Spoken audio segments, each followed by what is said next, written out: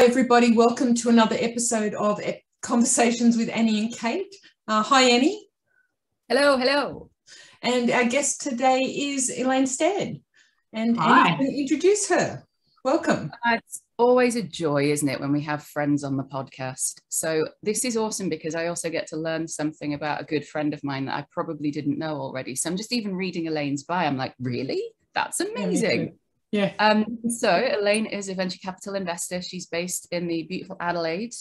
Uh, her track record, goes like 80 startups she's invested in across Australia, the US, and Southeast Asia. She's a scientist turned entrepreneur turned VC. And honestly, you, it's like, how do you do all of those three things? I don't know how you do that. Um, she's invested in startups like uh, Vinomofo, big fan of Vinomofo, been a customer for many years. Uh, Fluent Commerce, Hatch Tech, Pet Circle. Gosh, the list is endless. Shoes of Prey, aCommerce, Shopback. I could keep going on. We'd be here all day. Um, she's also the uh, director of Cicada Innovations and, and an advisor to federal governments on the Entrepreneurs Program. The list is so long of all of the accolades that Elaine has um, been involved in. Uh, she's been a huge supporter of the tech innovation system across Australia for many, many years. She's a hugely trusted advisor and investor. We're super, super lucky to have you on the show. Welcome, Elaine. Thank you so much. Um, thank you, ladies, and hi to everyone who's listening at the moment. All right, do you want to go for your first question, Kate? I will, I will. So I'm really interested to find out what you, if you do self care and if you do what you do, because we're all sort of needing to do some self care nowadays, I suspect. Yeah, no, we we absolutely are, and I I was worried you were going to ask me that question, Kate, because I I am terrible at self care, but um, I've had to be slightly better at it these days than I used to be. So um, I think you know it's pretty well known that um, I have had depression and anxiety and have battled that for quite a number of years, and so I think self care when you're when you're struggling with some of those things in the background is probably more important um, than um, than it maybe ordinarily is. And I think added on top of that, everyone's battling a pandemic, and there's lots of extra pressures and stresses on everyone at the moment. So I wish I could be more, um, uh, you know, I uh, do, do as I say, not as I do on this. But um, but really, the way that I deal with it is to have a lot of downtime. Oh, I can see Max in the background. That's awesome to see. Um, so so for me, you know, a lot of my work is um, cerebral. It's in my head. It's talking to people. Um, and I'm not a natural extrovert. And so self care for me at a primary level looks like just spending a lot of time alone. Because um but that's really me, great that you recognize that.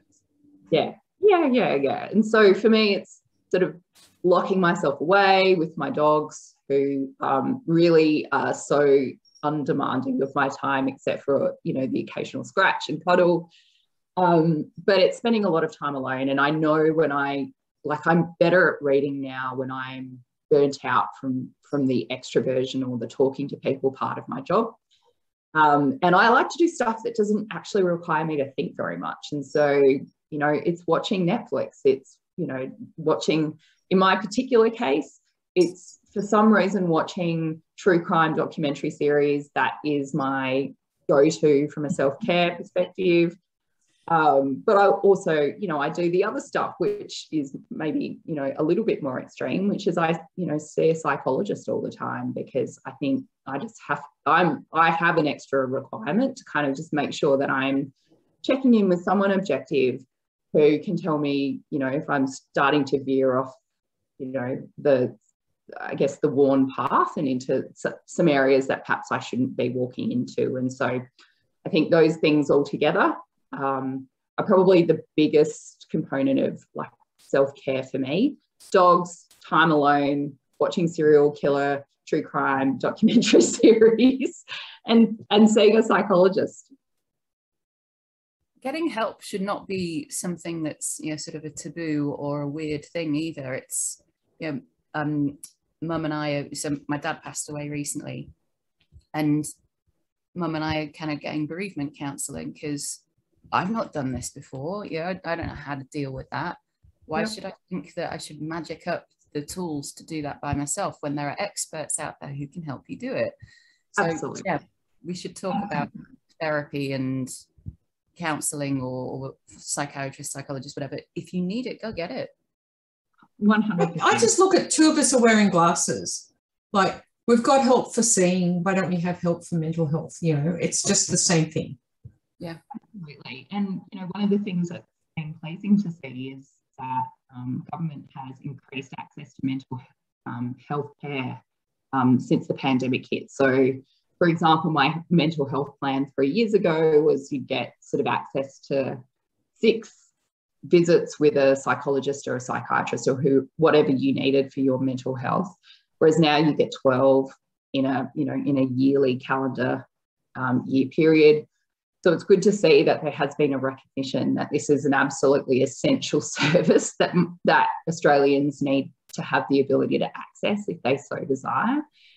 And you're right annie people talking about it more openly and doing so in a way that isn't taboo um, encourages you know more people i think to try and exactly do that kate. You know you get a prescription for your for your um, for your eyesight why wouldn't you get a prescription for your head to make sure that you know everything is as it should be yeah, yeah really good hey what are we drinking so i am drinking a local adelaide hills um, uh, I think it's actually a GSM. Yeah, sorry, I should have checked that before you asked me that, Kate. a nice red. Anything from South Australia is good. You've got so many good vineyards down there. I know, we're so lucky. And we get to visit them at the moment. That's the even luckier part. I'm very jealous of you. I haven't left my very small village for yonks. what are you on, Annie? Uh, I, I'm uh, on my, obviously it's morning for me here, so I'm on my big old mug of uh, Yorkshire Gold tea. I've just discovered Yorkshire Gold. It's delightful. It is lovely, isn't it? It's sort of got a big, warm, multi hug. It's really good. It's really good. I'm drinking a gin and tonic, with, which is um, a lovely gift from my friend, my lovely friend Selena. Um, and it's called the Suburban, and it's an Australian contemporary gin with dandelion, prickly pear, blackberry, and fennel. Wow. Quite the mix. Mm. Yeah, it's very tasty. anyway. My uh, starter question for you, Elaine. If you could go back to your younger self and give your younger self some advice, what would that advice be? Oh, um,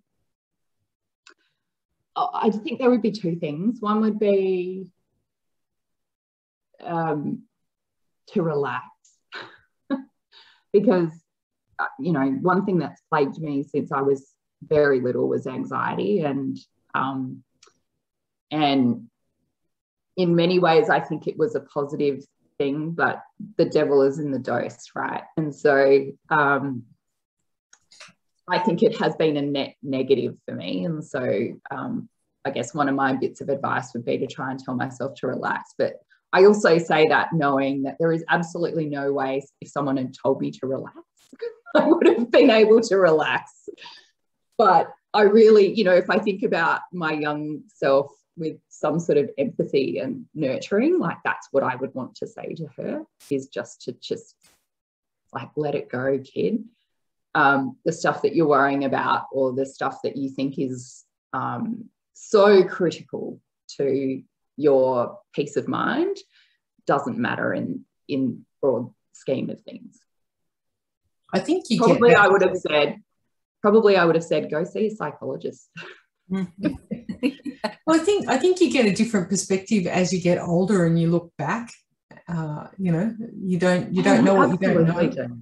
No, you absolutely do. And I mean, I had my parents who would say the same thing to me, but and this is how I know it wouldn't have mattered if I'd said this, but um, yeah. So perhaps perhaps if I was to answer that more accurately, it would have been to say go get some um, go get some psychological help earlier.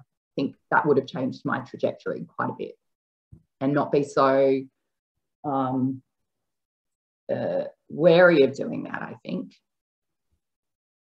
What? Why do you think you were wary of it? Is it just sort of the social stigma of it or? Yeah, so I thought, um, so it took me a really long time to work out that I had an anxiety disorder. So I just thought I was highly strung or um, uh, highly ambitious or um, so for me it, it didn't really register that i had a mental health issue until i was in my 20s but and and it was only when i had my sort of first what i call kind of nervous breakdown um, which was really just a burnout right? Um, and and that forced me to go see a psychologist that it was the first time someone had said actually i think you've got an anxiety disorder and it made everything from like six years old and onwards just go click, click, click, click, click. Like it just, it all fell into place. And um, so I think that was actually the thing. It wasn't so much a stigma, it's that I didn't actually realize that I was um, sort of an ab- aberrance from from the mean. I just thought this is just, you know, how people are wired, and and I just happen to be very anxious. Um, but you know, stuff like uh, you know, I I was convinced for the majority of my childhood that my parents were going to die in a car accident and I would be orphaned. And I know that's a very real thing that most children are um, scared of, but I was hyper vigilant and scared of it. And I was hyper vigilant and scared of the dark, for example. So I would not sleep at night. I would go to bed and stay up the entire night because I was convinced that, um, you know, a, a, a child abductor was going to break into my house and, and steal my sister and I. And, you know, just this stuff which kids, you know, absolutely happens to children. But I think when you, when it blows up into something that stops a child from sleeping or um, makes them mortally afraid that their parents are going to abandon them, like that's the stuff that morphs into that's not normal. Mm. And I just never it never occurred to me that that wasn't normal and um, and then as you grow up those things just morph into different things that happen to follow you according to your age and so it turned into an eating disorder when i was in my teens and um, you know so it was just one of those i think it wasn't so much a stigma once once it became very clear that i needed um, medical attention i was happy to go get it it just never occurred to me that I needed it. Mm, fascinating. And hey, let's let's take it switch directions a little bit. What got you into um, you know, sort of a science kind of background. That was what I was thinking too. I, I want to know where, how you started on your your path into science, but then how you flipped from that into investing, because that's like two very different career tra- trajectories.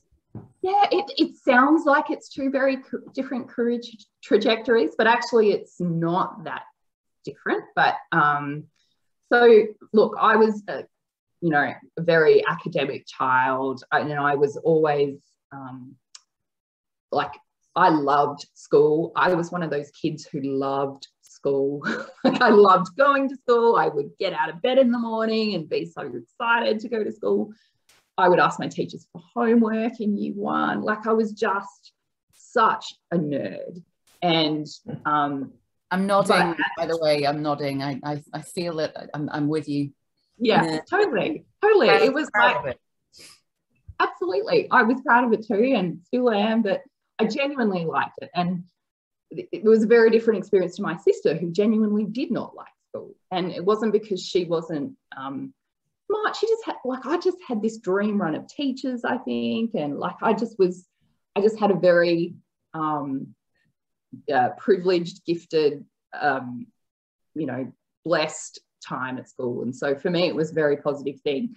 Um, I always loved the sciences. I had some amazing science teachers, and I think as you go on through, you know, primary school and high school, and you you sort of narrow down your um, interests, it was always the sciences for me. And so when I finished school and was trying to work out what I wanted to do at university, I was actually thinking I would come back and be a science teacher. That was actually what I wanted to do.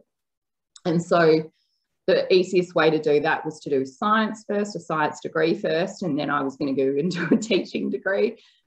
Um, and once you get into that science degree and you start to sort of dig a bit deeper into various different topics, it was just, you know, it was utopia for me.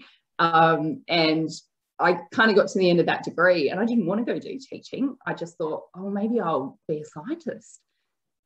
Even though that what, was what never. kind of science? What were you interested in? So, biology was my kind of first love, I guess. So, at university, I did physics, I did maths, I did chemistry, I did, you know, all of that stuff. But I think as I kind of went on in my science degree, kind of narrowed down into the um, life sciences. So, that was kind of focus for me. Um, I ended up majoring in biochemistry and immunology and microbiology, but I went on and did an honours degree in biochemistry because um, that was kind of my, my, I guess, my real passion at the time. And then once they get you into that honours degree kind of stream, um, the, the way that universities are set up is there's no other path for you. It's all, it's, you're now going to be a research scientist. Um, I think it's a bit different now, but sort of 20 odd years ago when I was going through, it was very, it was very blinkered, which was do an honours degree, go and do a PhD. Once you finished your PhD, you go and do a postdoc in an excellent lab in Europe somewhere, and then you come back and you apply for a fellowship and you become a very famous scientist in Australia. That was like your, your path, and it was a very well worn path but I got to the, and I did my honours degree and it was great and I loved it. And, you know, I had such a fantastic research experience that I decided to do a PhD. And then my first year of my PhD, I'd completed a year and the, and the, um, I guess the area that I was researching, um, another lab in Europe scooped us and published exactly the same thing that, that I was doing in my PhD. So I had to start again. Oh, that's such so, bad luck. Yeah, yeah. Well, it could have happened later, right? So in oh, yeah. way, it would. It's better to happen first year than third.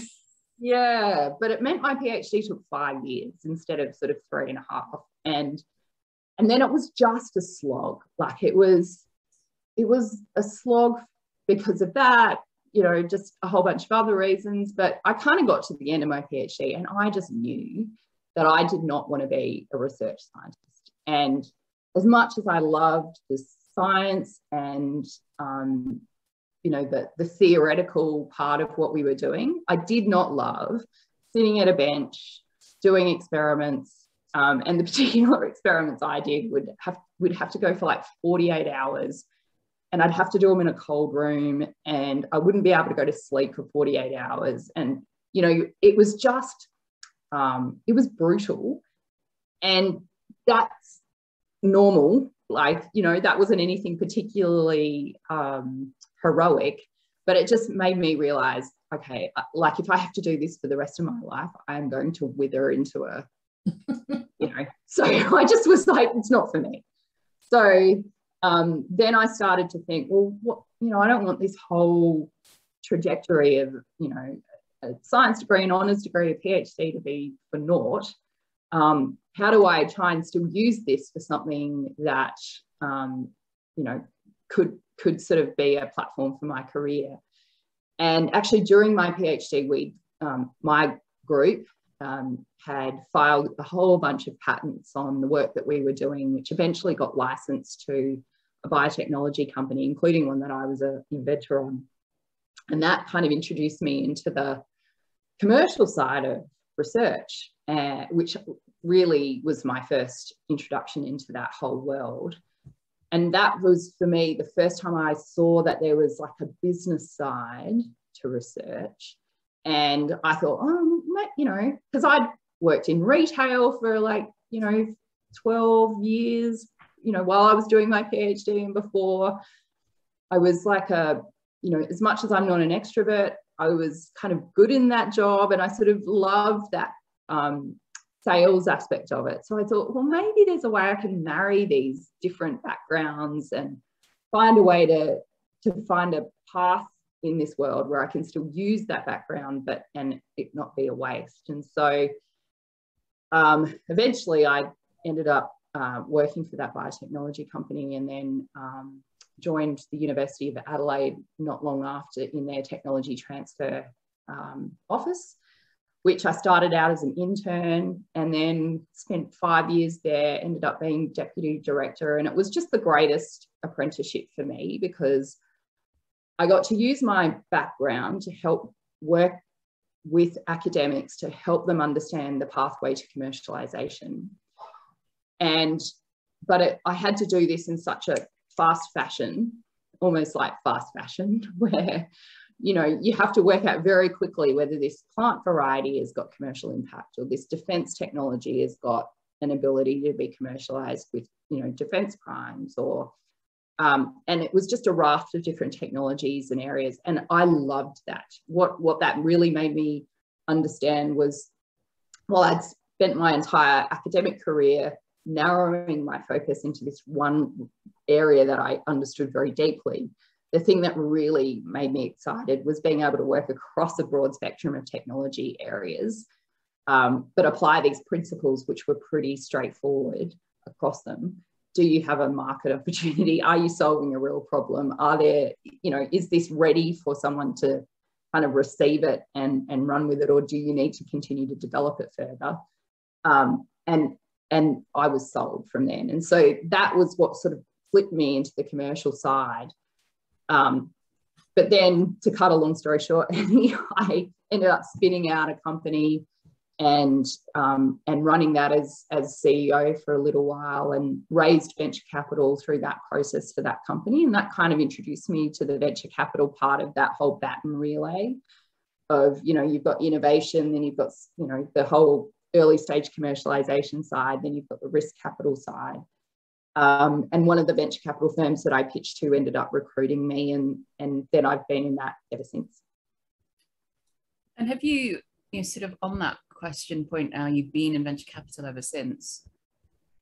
Is it that variety of just, you know, because it sounded like when you, your eyes lit up when you started to talk about, you know, I'd got to work this out really quickly and had to have an opinion on it really quickly. And, and you know, venture capital is, is obviously very similar.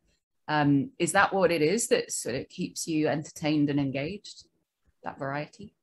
Yeah, I think variety is part of it. And um, the other part is I, I quite like solving problems.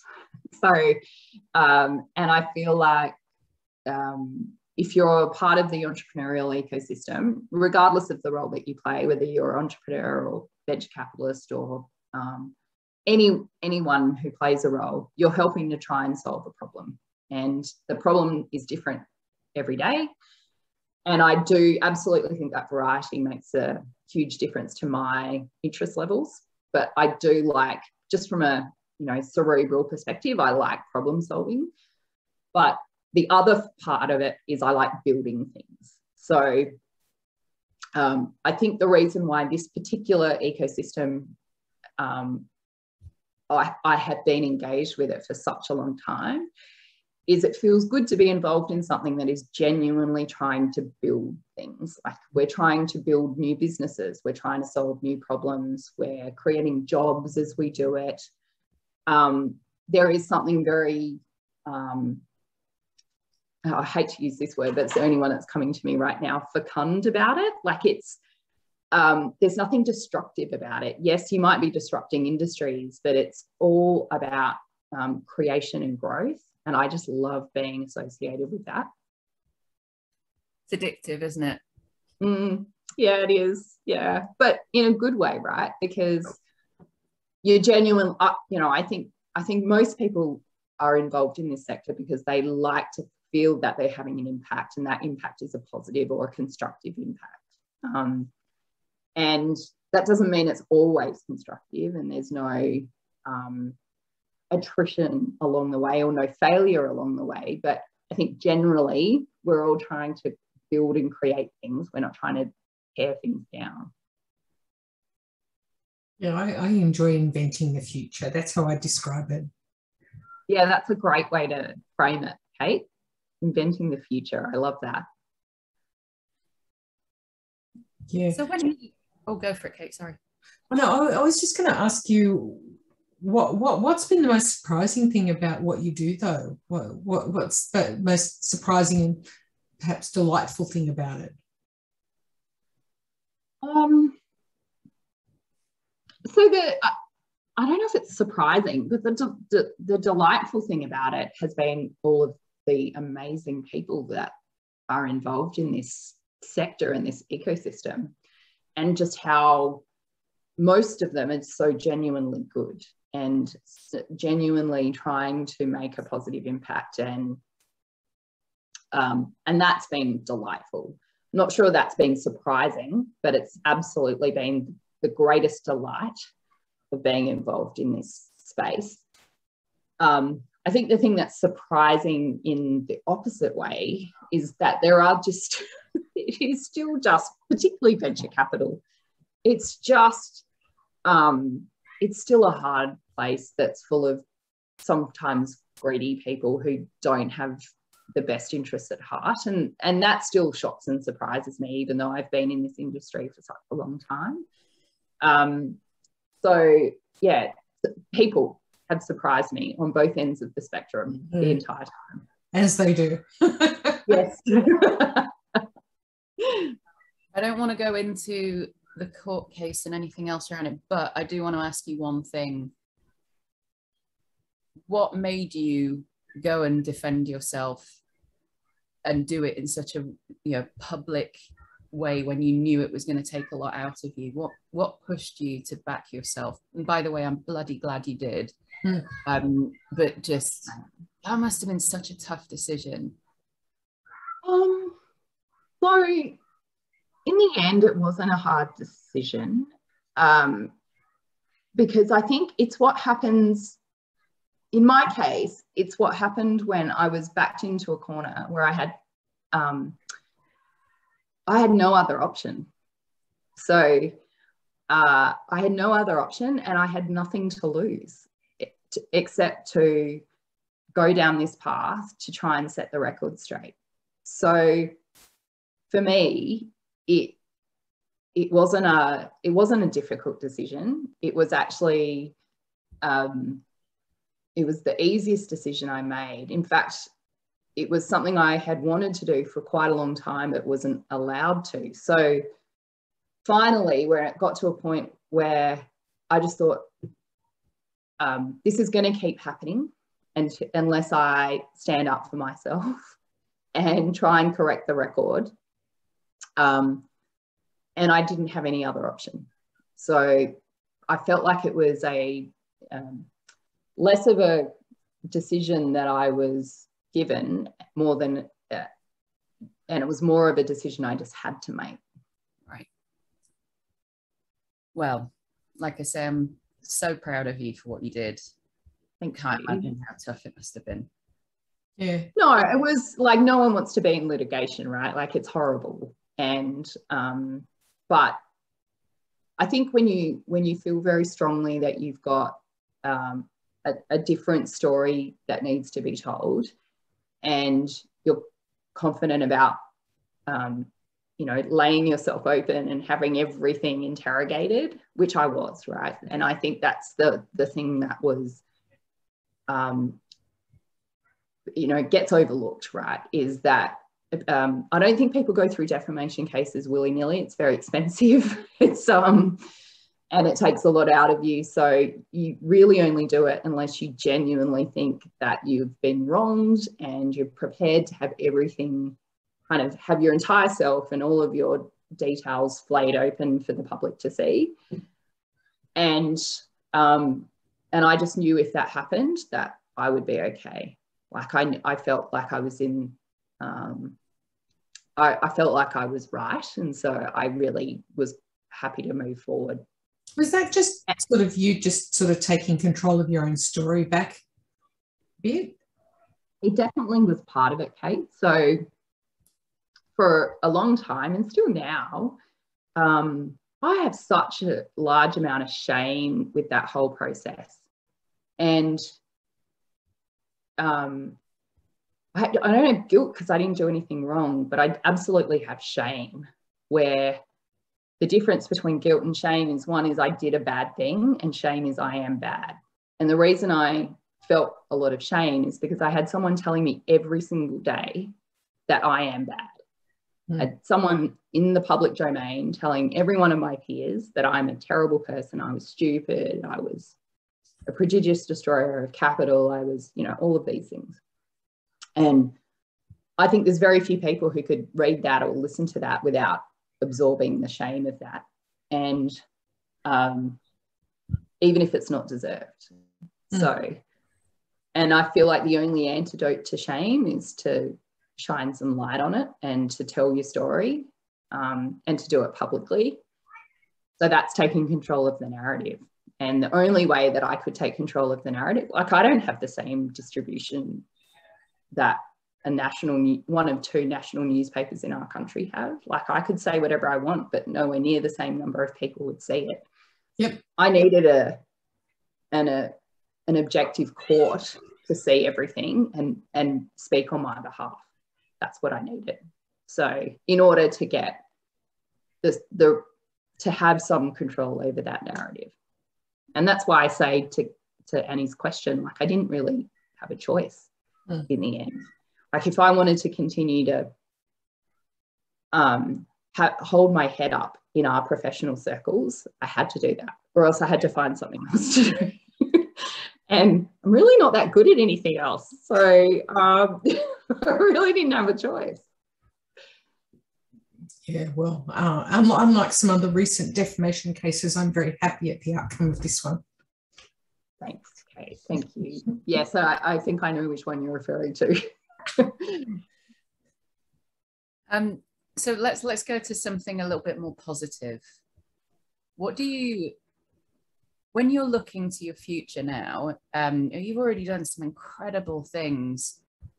What is it that keeps getting you out of bed? You know, you get you sort of talked about yourself as a kid going, I'm going to school, I'm jumping out of bed, I'm off. Yeah, what yeah. is it keeps you going now? So it, it's something very similar, but um, so the things that I do now are just as diverse as um, before, but in a broader scope of things. So um, I work with the Entrepreneurs Program. Um, I work with universities. I manage um, investments on behalf of a family office. So and I sit on a couple of boards and some investment committees for various venture capital funds. So they're all different, I guess, stages of that same baton relay, which is how do you take something that's a fairly nascent idea and how do you convert it into something that has genuine impact? But I get to play a whole bunch of different roles along the way. Um, and that's what excites me again. So it's not very different. Um, I'm pretty uh, pretty simple in that regard. Like I've just got a variety of things that I get to work on, but it's all working towards this building, creating growth, you know, jobs. Um, as Kate said, uh, you know, helping to create our future. That's the stuff that gets me really excited. Um, and I like that it's all very challenging. Like none of it is easy. None of what you guys do is like it's like it's all very tricky. But that's the um, that's the cool, challenging part of it is that we're trying to figure this all out ourselves collectively together. And it's not straightforward, or else if it was super straightforward, everyone would be doing it. Um, yes. That's the like it's like a it's there's an there's a um, an intellectual element to it. There's a competitive element to it. Um, and there's a huge kind of impact element to it. And i think it's those three things together that make it super and still interesting and engaging to me. I don't know. What like what do you guys how do you guys feel about it? Like you're in the same sphere so i'm keen to hear how you think about it too. We've, we've, we've we're working on a new startup together. Ah there you go. Kind of in stealth mode at the moment. We, we need to talk to you about it actually afterwards um. Look, it's the same thing, isn't it? Um, I mentioned earlier on, it is addictive. When you see your help helping literally in front of your eyes, whether it's you know a piece of advice or a connection that you've been able to open up for somebody, or, or just literally seeing a business grow. And one of the things I love after eight and a bit years of being in Australia is seeing the companies that originally kind of started eight years ago who are now doing so well. And that is just amazing, like, isn't it? It's just the energy that you get from that is so positive. And like you say, Elaine, you know, that nothing bad really comes from that. It's only goodness. Right. And even yeah. if there's failure, it's still goodness, right? Yeah, Particularly if it's honest failure. Mm. Well, you know, you know, one of one of my startups, you know, we we we just had really bad timing because it was a China-based thing, and tr- Trump just started his trade war with China. Uh, you can't predict those kind of externalities, but you know, it was a really interesting experience. I met some great people. It was really fun. And there's so many startups, for example, that have probably died because of the pandemic, right? And no one can look at them and say, well, you're a terrible business. It was just, there's, you know, sometimes businesses are just really vulnerable to these external events that they have absolutely no control over. And, you know, the pandemic, I think, is has exposed that for a lot of companies. And it's the same as the example you just said, Kate. Like sometimes timing just sucks.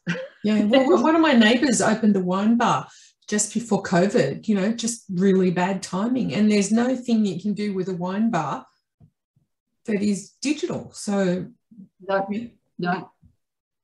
And I think the other thing is what you the, the network that you build over the course of that life cycle is just extraordinary. And and I've met people who I would never have been able to to get in touch with, you know, as a result of the you know, being in the startup space.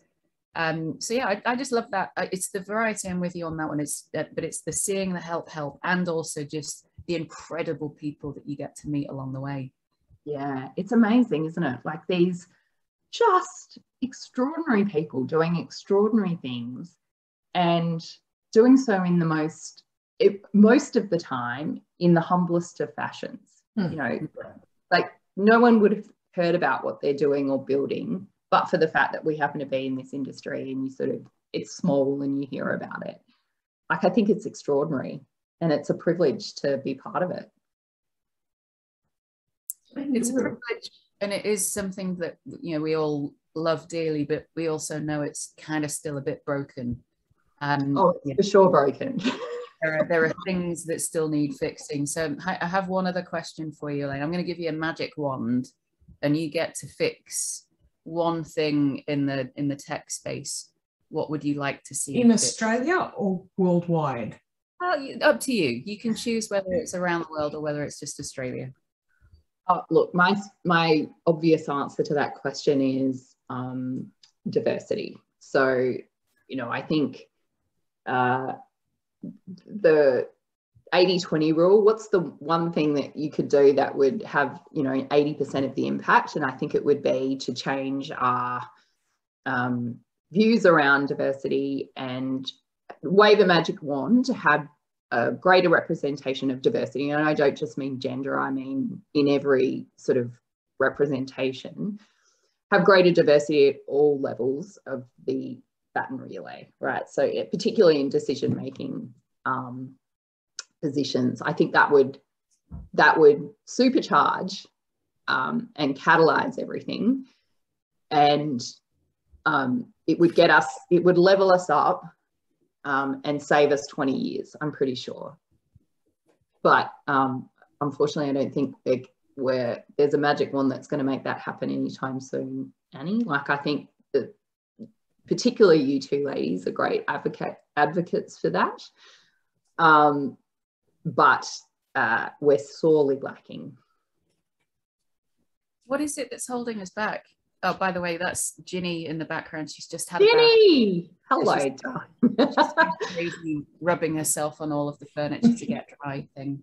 I'm surprised my dogs aren't in here at the moment. Um, uh, sorry, what was your question, Annie? Why do we not what is have it? What is it that's holding us back so much? Why is it that it's still going to take another 20 years to get there, do you think?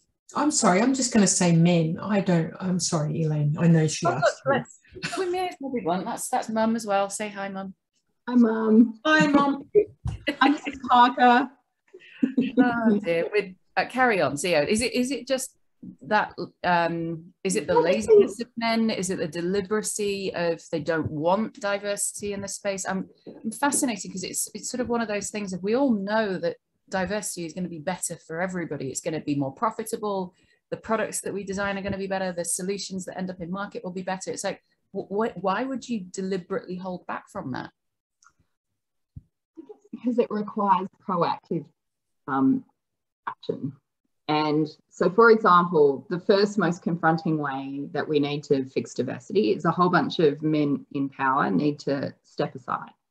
And that's really hard, right? So, where there's the biggest decision makers is still very um, white and male and, and misogynist.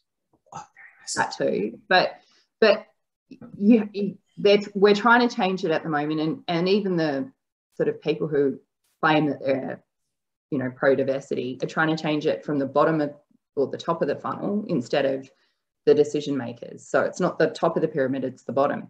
So, you know, for example, let's say in VC, if you are trying to change your gender equity by um, hiring more associates that are um, female and you have to wait 15 years for them to work their way up to partner, well, that is going to take a long time. But in order to change the people making decisions at the top, someone at the top has to step aside.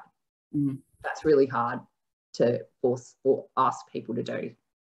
And that's why I think it's hard at the moment and we're seeing very slow change is because I think all of the change is coming from the ground up, not from the top down.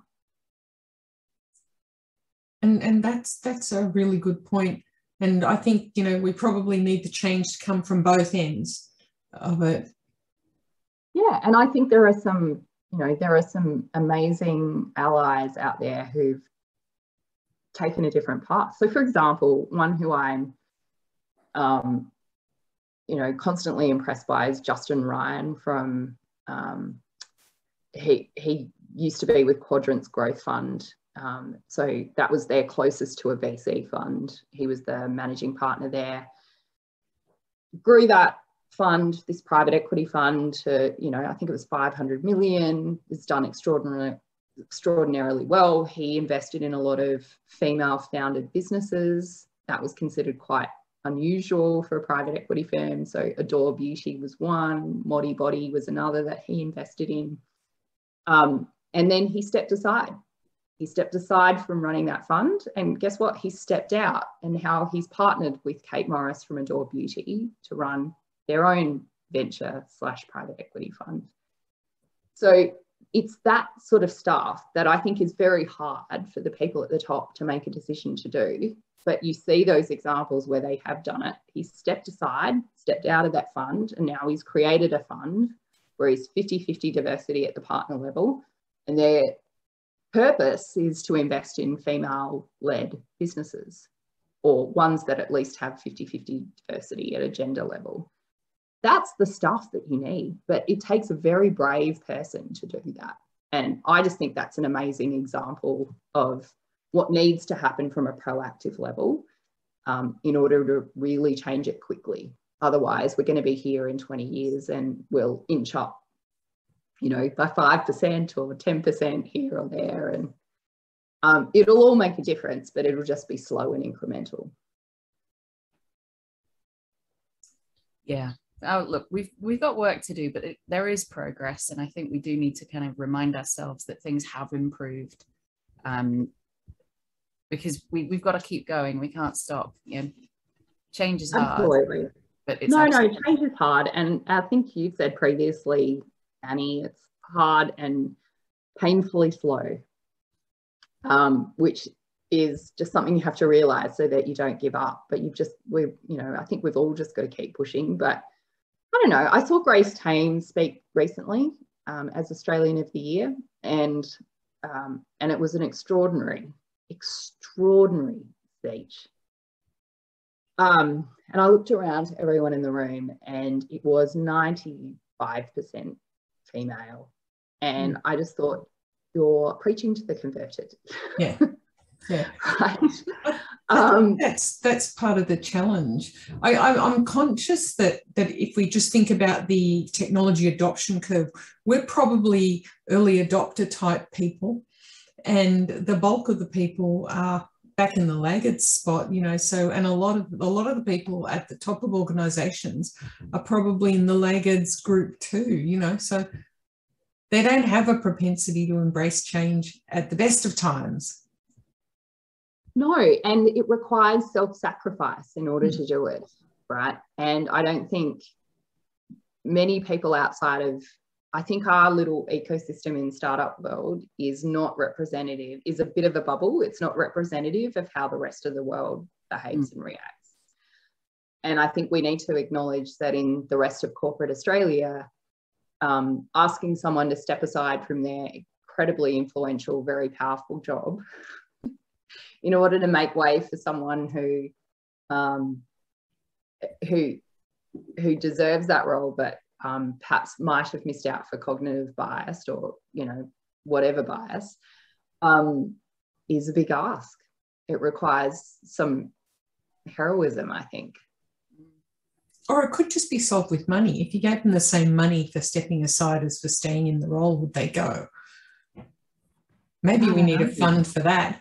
I don't know. I think it's um yeah, look, I mean, obviously if I had the answers, we'd solve it. But um yeah, well, you I, I just think uh it it absolutely relies on people with power conceding um, that power and that's that's really hard i think history has shown that that doesn't happen easily well we could just fight them for it Right, which is what happens, but that's why it's slow and it's going to take, you know, a few more decades. I think what did we get to now? We've got at least every ASX 200 board is that's no longer 100% male.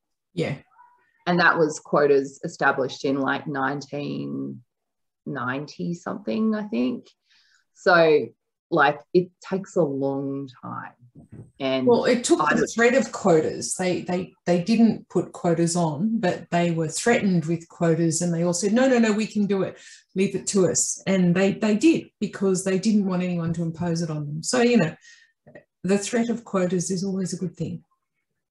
I'm a yeah, huge fan of quotas. I am too.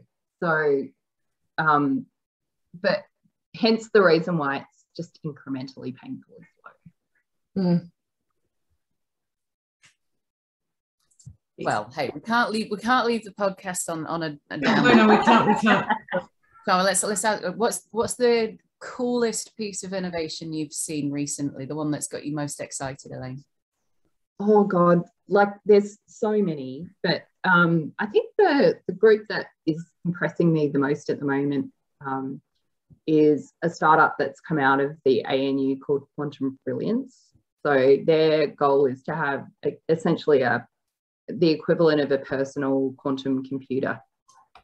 Wow. And the ability, and and they basically achieved it. And um, the computational opportunity that that presents is pretty extraordinary and probably is going like if they get it right it's going to be a game changer so that that stuff i find my golden retrievers just arrived. So um, that stuff I think is super exciting, and it's like it's it's the you know it's the leading edge stuff that I find most um, exciting at the moment. But there's still businesses that I see all the time that I that isn't necessarily leading edge from a research perspective. Like there's this new business Psylo, which is you know come out of the Start Startmate program, which is psilocybin um, magic mushrooms um, company. That's not leading edge from a like a research perspective or from a clinical efficacy perspective. I think that stuff's been known for a really long time, but they're doing something really different,